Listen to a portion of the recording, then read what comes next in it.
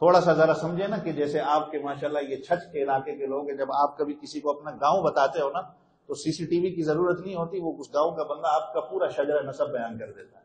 तू फलां का बेटा है, तेरा दादा फलां था, तेरा मामू फलां है, तेरे घर में इतने बंदे थे, इतने फौत हो गए, इतने हैं, सारी की सारी जो है ना, वो आपकी पूरी पूरी हिस्ट्री वहाँ आ जाती और एक अच्छी बात है, इससे मोहब्बत उन्स पैदा होता है और होना भी चाहिए।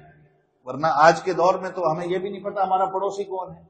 पड़ोसी के हकूक ही हम भूल गए, जहाँ पर आप सल्लल्लाहु अलैहि वसल्लम ने पड़ोसियों के कितने हकूक बताए। इतने ज़्यादा पड़ोसी के हकूक बताए, हज़रत जबरील सलाम ने आप सल्लल्लाहु अलैहि वसल्लम को आकर आप सल्लल्लाहु अलैहि वसल्लम ने फरमाया, मुझे डर है कि अब अब जो है हज़रत जबरील सलाम आके ये ना कह दें कि मरने वाले की माल की विरासत से पड़ोसी को भी हिस्सा मिलेगा।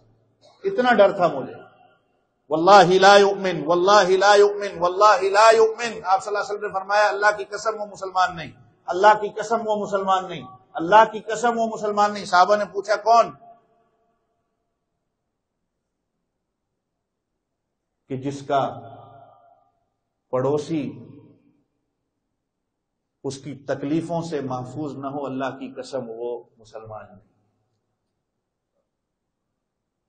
कभी सोचा है कि मैं और आप अपने पड़ोसियों को हम क्या क्या तकलीफें देते हैं? अब पड़ोस सिर्फ़ ये नहीं कि आपके घर का, ये जुमे में आते हैं, ये भी आपका पड़ोसी है। आप जहाज़ का सफ़र करते हैं, ट्रेन का सफ़र करते हैं, वो भी आपके पड़ोसी हैं। और आप सल्लल्लाहु अलैहि वसल्लम ने हदीस में फरमाया कि साहबा ने कहा कि मुझे कैसे पता चले कि मैं, आप सल्लल्लाहु अलैहि वसल्लम ने पहले फरमाया कि मुत्तकी बन जाओ। परहेजगार बन जाओ तो साहबा ने कहा कि कैसे पता चले? आप सल्लल्लाहु अलैहि वसल्लम ने फरमाया, अगर पड़ोसी तेरा कहे कि तू मुत्तकी है तो तू मुत्तकी है। अगर वो कहे तू गुनागार है तो तू गुनागार है।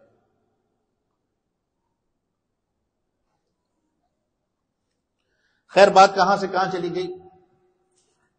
आप सल्लल्लाहु अलैहि वसल्लम ने फरमाया, नेनवा जो हज़रत यूनस सलाम का इलाका था अब वो अदास नामी शख्स जो है, वो परेशान हो जाता है कि हज़रत यूनस सलाम का वाकया तो किसी को यहाँ नहीं पता था।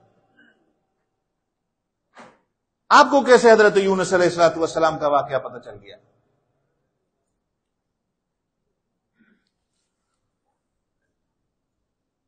तो आप सल्लल्लाहु अलैहि वसल्लम ने फरमाया, इसलिए कि यूनस मेरा भाई है, वो भी अल्लाह का नबी है, मैं भी अल्लाह का नबी